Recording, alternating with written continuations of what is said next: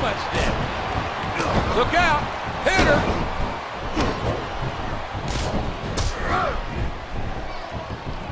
That was a big-time shot by Jericho. Uh-oh. Ref's on Green Street right about now.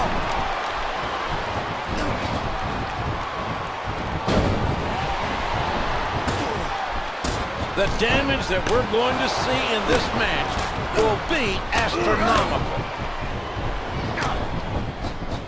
Oh!